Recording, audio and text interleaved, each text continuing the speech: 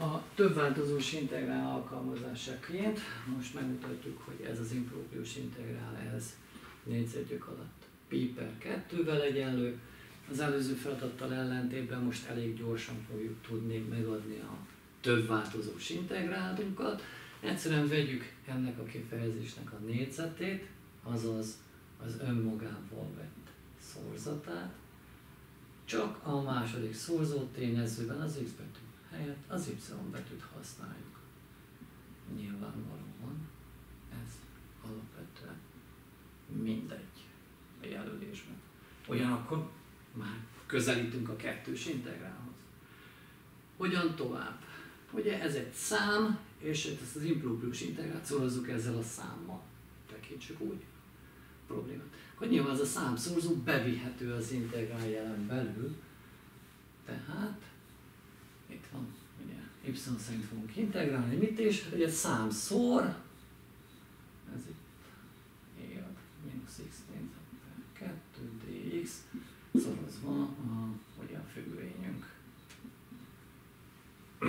Na most van egy pár fölösleges zárójelünk, de az is igaz, hogy a szorzás kommutatív, tehát ezt írhatom, hogy olyan sorrendben is e ad mínusz y négyzet per 2, a függvény megszorozva a konstanssal, de itt már nem teszem ki a zárójelet, ezt az integrálként írom így be, csak simán, és akkor persze kívül tovább és y szerint integrálunk.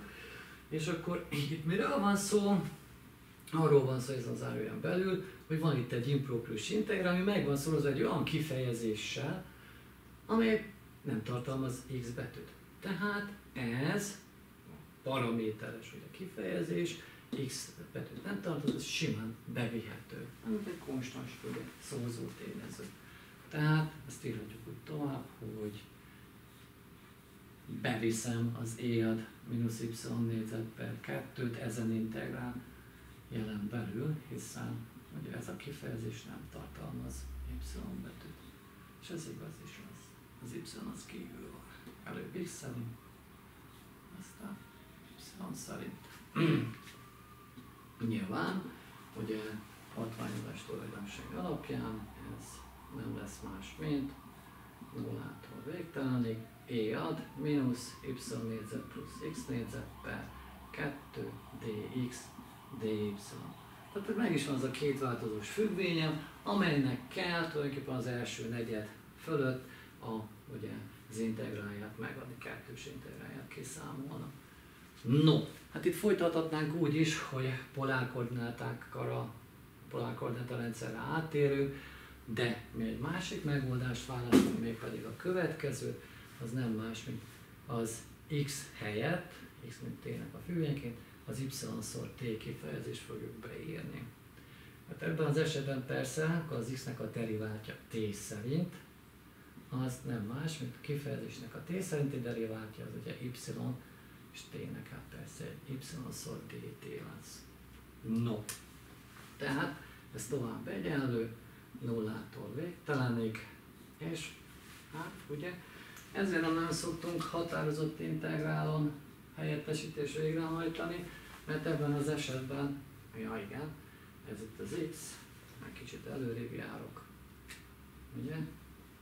Pont ezt akartam mondani, hogy itt bizony-bizony azt kell megnézni, hogy t milyen határok között fog mozogni, ugye? Hogyha az x egyenlő y-szor t-vel, ez x az nullától végtelenig megy, akkor t mettől meddig is megy. No, az első síknegyedben vagyunk, tehát ugye az y az nem negatív feltétel miatt, akkor természetesen az x egyenlő nulla, az csak úgy lehetséges pozitív y esetén, hogyha t az természetesen nullával lesz egyenlő, tehát alapvetően szerencsénk van, hogyha lehagyjuk itt tesztelre, nem figyelünk, akkor is jó lesz az alsó határ, és természetesen a felső határ is, hiszen hogyha az x az végtelenhez tart, az y pozitív szám lévén, akkor a t-nek is végtelenhez kell tartani. Tehát mázlink is lehet, nem figyelünk oda, és mégis jól fogunk kapni. Tehát E ad, mínusz y négyzet, na most az x négyzet helyett ugye azt beszéltük meg, hogy y négyzet t négyzet kerül, per 2, a dx helyére y dt, és persze ezt fogom y szerint integrálni. Ups, ide elfelejtettem írni. Azaz, miről van szó nullától végtelenig, egy kicsit egy szebb alapba írjuk fel, nullától végtelenig, e ad, mínusz y négyzetet kiemelve, ugye itt ilyen t négyzet plusz 1 szorzó tényezőnk lesz y dt, és ez van megszorozva, és nem van, tehát integrálunk, ugye y szerint.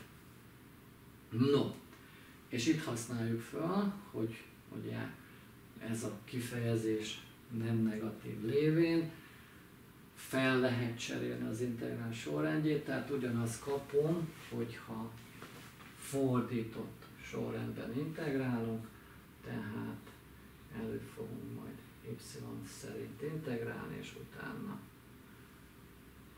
x szerint, tehát e ad y négyzet per 2, t négyzet plusz 1, y, és akkor fordított sorrend, dy, és itt jön ki a dt. No, hát itt ezt lehet, hogy már egyesek látják a végeredményt, azért egy biztonság kedvéért megnézem, most kiszámolom a határozatlan integrált, e ad mínusz y négyzet per 2, t négyzet plusz 1, y dy-nak mi is lesz. Na most ugye egy szorzatfüggvényünk van, ez nyilvánvalóan egy elemi függvény, ez nyilván egy összetett függvény, és ráadásul ugye a belső függvénynek a deriváltja az ugye hogyha ezt lederiválom mi szerint is y szerint, akkor azt kapom, tehát az u-nak mínusz y négyzet per 2 t négyzet plusz 1-nek a deriváltja u y szerint, ez nyilvánvalóan ugye y ez a két y, tehát akkor ez mínusz y szor t négyzet plusz 1 lesz, ami számszorosa ugye az y-nak, tehát akkor helyettesítést fogunk alkalmazni, a helyettesítés az persze pontosan ez lesz, ugye a bonyolult függvénynek a belső függvényeit írunk egy másik betűt.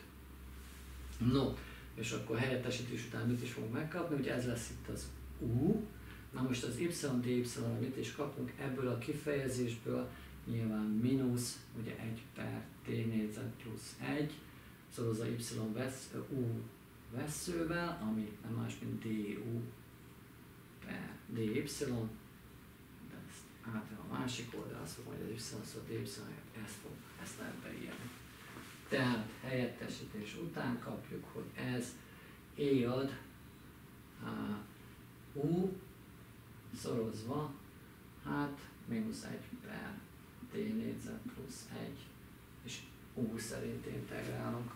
Hát, ugye az itt ezek konstans kifejezés, tehát az ki is vihető, E ad U-nak természetesen, ugye E ad U, a primitív függvénye, tehát ez felirat úgy, hogy hát mínusz E ad U per T négyzet plusz egy alapban írom föl, azaz ez nem lesz más, mint mínusz ad, és akkor az út visszaírjuk, mínusz y négyzet per 2, t négyzet plusz 1 per t négyzet plusz 1 plusz c. No, tehát akkor megvan a primitív függvényem, de nekem mire van szükségem?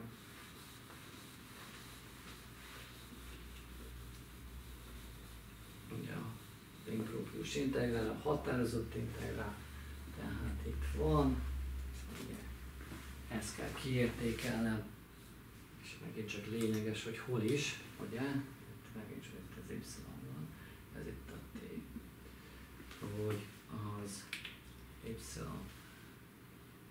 nulla alsó határ, felső határ helyen, ugye végtelen, tehát ez egy ugye, határérték számítást jelent. Na most akkor nézzük csak, végtelenben vett határérték. Hát a t plusz egyen nem kell foglalkozni, az egy pozitív kifejezés, az nem fog befolyásolni semmit. e mínusz y négyzet per 2 t plusz 1-ről mit mondhatunk, tehát hogy megállapítottuk, ugye, természetesen ez egy pozitív kifejezés, a mínusz y négyzet per 2, hogyha az y tart a végtelenbe, akkor ez tart itt a mínusz végtelenbe. Tehát ha y tart a végtelenbe, tehát akkor itt ez az egész kitevő, nem akarom bekarikázni, mínusz végtelenbe tart. Gyorsan felrajzoljuk a ugye, íjad, milyen betűt nem használnak, x, y, z függvényünket, itt ez ugye. A mínusz végtelenbe vett határértéke az jól láthatóan nullával egyenlő, tehát akkor azt kaptuk, hogy ez nullából az alsó határhelyen fölvett érték. Ugye itt ebben az esetben az y helyére be fogunk írni nullát, tehát akkor itt ez mínusz e ad nulla per t négyzet plusz 1 lesz. Most az e ad nulla az egyenlő egyel, mínusz mínusz miatt az, kapjuk plusz, tehát 1 per t négyzet plusz egyet fogunk kapni erre az improprius integrálra. Nagyon jó. Azaz azt kaptuk, hogy t egyenlő, hát most nem is kell, hogy t egyenlő nulla, hiszen már csak egy változó marad. És akkor ez az improprius integrál, ez 1 per t négyzet plusz 1 dt, tehát hasonlóan, mint az előző feladatnál megint csak az arkusz tangens függvény Markus tangens függvényt kaptuk, amit a nulla végtelenné kell kiértékelni. Azért még egyszer felrajzolom, hát valaki nem nézte meg az előző videót.